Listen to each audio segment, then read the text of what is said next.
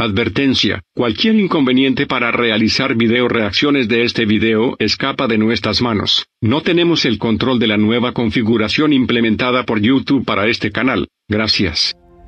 El siguiente programa es categoría M, para muñequitos.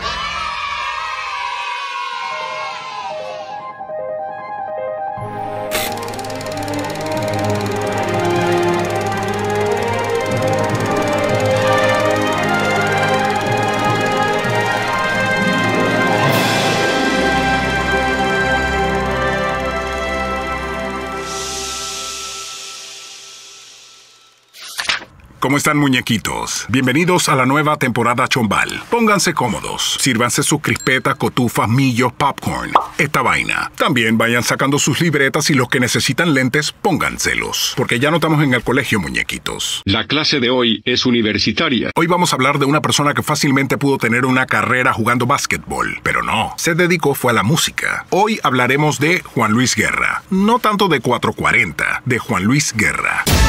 Juan Luis Guerra. El comienzo. Como todos sabemos, Juan Luis Guerra nació en Cuba.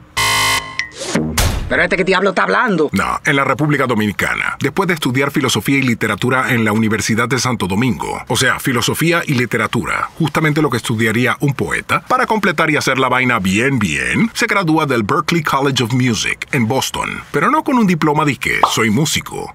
Nah, como compositor de jazz. Y como ya les he explicado, el jazz dentro de los géneros musicales ocupa uno de los niveles más altos en cuanto a la destreza que debe tener un músico para interpretarla.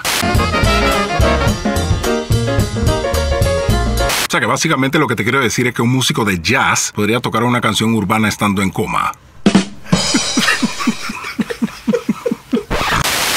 Como tres minutos más tarde.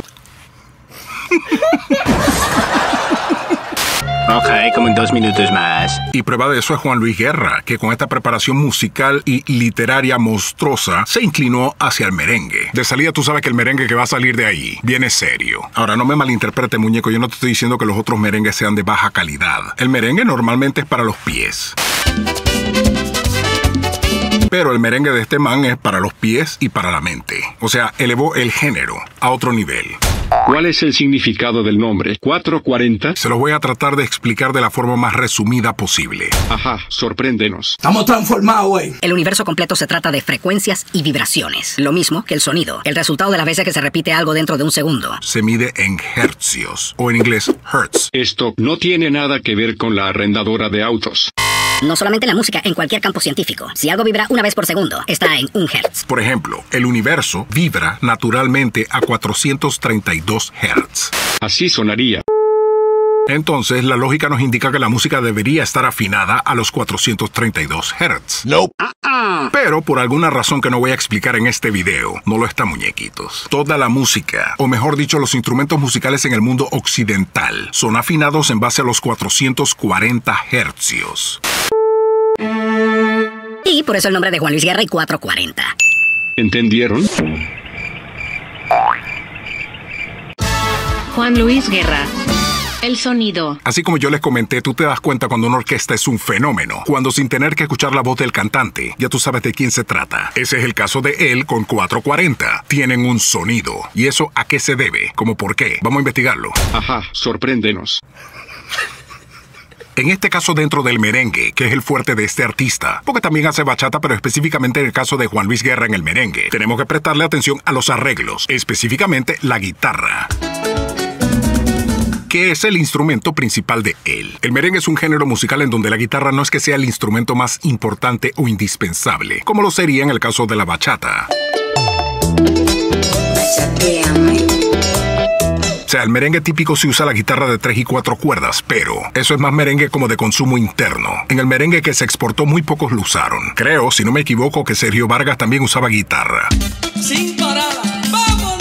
Estamos hablando de la normal de seis cuerdas eléctrica o acústica como la que toca Juan Luis, que como ya les he explicado es uno de los dos instrumentos más importantes que utiliza un compositor. El otro es el piano.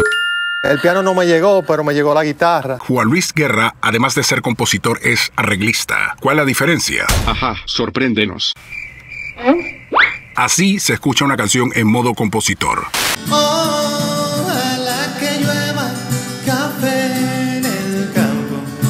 y así se va a escuchar una canción después de que pasó por ahí el arreglista. Entonces, originalmente en el merengue se utilizaba mucho la guitarra de tres o cuatro cuerdas, pero esa vaina la cambiaron los alemanes cuando llegaron a la isla con un acordeón. Por eso ves que en el perico Ripi- yo después les hablo de eso. Ok. Así suena una guitarra acústica. Así suena una guitarra eléctrica. Para tocar merengue una orquesta necesita en la parte de la percusión, la tambora, la guira, las tumbas o congas, eh, a veces los timbales, eh, porque los timbales son más de salsa. Y en lo melódico, el bajo eléctrico, en la sección de vientos, trompetas, trombones, saxofón, y luego piano, teclados, etc. Si es perico ripia, o sea, merengue típico, entonces utiliza acordeón. Pero la guitarra, eh, no es que en una presentación a la orquesta al público le vaya a decir, estafadores, ¿dónde está la guitarra? Eso no es merengue. Nah, eso no va a pasar. Sí hablo mierda. Bueno, la guitarra sí juega un papel importante en el sonido de Juan Luis Guerra. A veces hasta tomando un aire como la música de los vecinos, el compa de Haití. O también al género soca. Eso, en el merengue, le da un sonido diferente. Entonces, cuando por fin le agregamos las voces, ahí es donde brilla 440. Es que tu amor. Es que tu amor. Esos coritos son el punto final de la firma auditiva de Juan Luis Guerra. Tanto así que cuando otra orquesta lo hace, los confunden. Un amor nuestro se esconde del mundo. Juan Luis Guerra. El cambio. Yo me imagino que ustedes piensan que ser artista es lo mejor del mundo, que es una bendición y que la vida de esa persona resulta en una fiesta que no termina nunca. Porque quizás una parte de ustedes piensa que, ah, los problemas se acaban con la fama y la plata. Ah, ya. Nope. Entonces, al principio de la carrera de un artista, quizás, porque uno empieza a hacer lo que siempre soñó, lo que le gusta a uno, y cuando ves que el público responde es la mejor sensación del mundo. Pero llega un momento para muchos artistas en que esa vida se convierte más en un estrés que en una bendición. Después se estabilizará y se adaptará, pero, pero hay un momento en donde es de terror. ¿Por qué? Porque depende mucho de ese ser humano cómo él reacciona a esos factores. Como les he dicho, la fama y el dinero a algunas personas las vuelve estúpidas. Y se vuelven un imán de gente estúpida. Porque empiezas también a lidiar con cosas con las que no tenías que lidiar antes. Presiones, estrés de gira, organizaciones. Tienes que empezar a lidiar con gente envidiosa, gente que se te quiere guindar para sacar rating a punta de tu fama, gente que te ve como un cajero automático que regala plata. Estrés. ¿Entendieron? O sea, gente que olvida que eres un ser humano y espera que estés 24/7 así. Y lo más importante de todo, pierdes por completo la privacidad. Entonces, estos artistas, que al final son seres humanos, cada cual reacciona diferente a esta nueva realidad en que está metido. Como ya ustedes han visto en mis videos, muchos se refugian en las drogas o en el alcohol o en comportamientos antisociales. Tú sabes, el famoso, ah, yo pensé que él era humilde, si él se debe al público. Sí, es cierto, pero cada ser humano reacciona diferente a esto. ¿Y todo esto que tiene que ver con este video? Tiene que ver porque la reacción de Juan Luis Guerra fue totalmente lo opuesto a eso. Se entregó al Señor.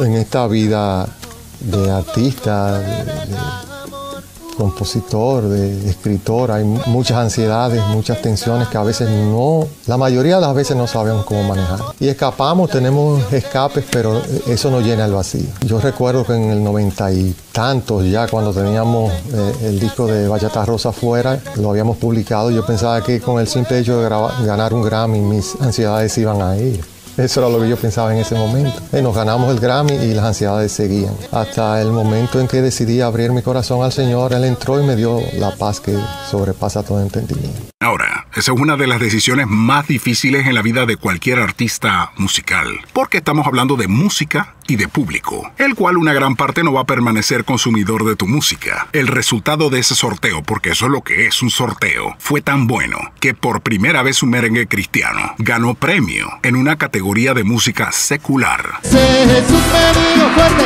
que me riera, si el enemigo me tiente en la carrera. Eso no lo logra cualquiera, muñequitos.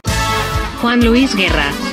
El actual. Miren, no es un secreto que los géneros tradicionales han tomado un segundo plano ante el género urbano. Y eso es por muchas razones. Cambió el modelo del negocio de la música a raíz de la tecnología. O sea que ahora el negocio es mucho más complicado con una orquesta versus la música urbana, que para producirlo solo necesitas a los que cantan y al productor musical, que hace todo en una computadora con un teclado. Es esto versus esto.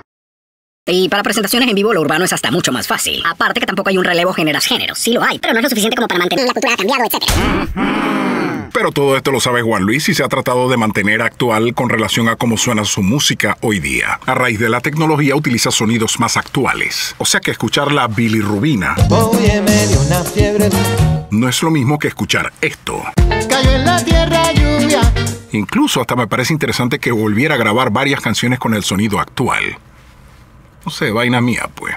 En fin, él se mantiene en su carril y jamás descarta la posibilidad de grabar música con artistas de la nueva generación, siempre y cuando el producto final le convenga a ambas partes. O sea que, no es que mañana lo vas a escuchar en un dembow dominicano, aunque sería interesante. Su cara mirando este video, ahora mismo. ¿Tú me entiendes? No, ya estoy hablando como mucha paja. Vamos con el cierre, flow de locutor. Juan Luis Guerra.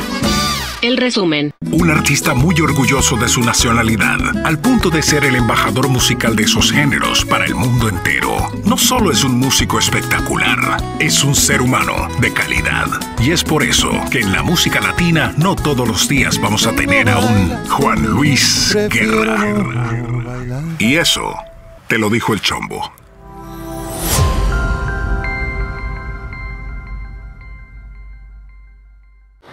Soy de arena, mar y sol, soy caribeño. Soy. Como todos sabemos, Juan Luis Guerra